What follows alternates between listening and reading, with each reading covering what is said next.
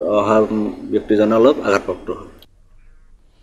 এইবাৰ কৰিমগঞ্জৰ চোৰাইবাৰীত পুনৰ জব্দ হৈছে ডেৰ কোটি টকাৰ গাঞ্জা। চোৰাইবাৰী আৰক্ষীৰ অভিযানত জব্দ হৈছে অব- অবৈধ গাঞ্জাখিনি। ত্ৰিপুৰাৰ আগৰতলাৰ পৰা এখন কণ্টেইনাৰেৰে গুৱাহাটীলৈ অহাৰ কথা আছিল গাড়ীখন।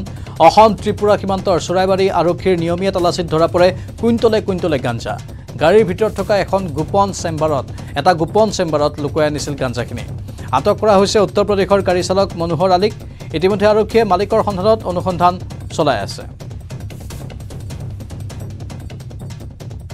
N L zero' two Q nine three six zero' এইটো ত্ৰিপুৰাৰ ফালে আহিছিলে আহি আমাৰ চোৰাইবাৰী ৱাচ পোষ্ট অসম গেটত অহাৰ পিছত আমি গাড়ীখিনি ৰখাওঁ। গাড়ী ৰখাৰ পিছত আমি তালাচী কৰোঁ আৰু তালাচী কৰাৰ পিছত তাৰ পৰা আমি চৈধ্যশ আশী কেজি গাঞ্জা উদ্ধাৰ কৰোঁ।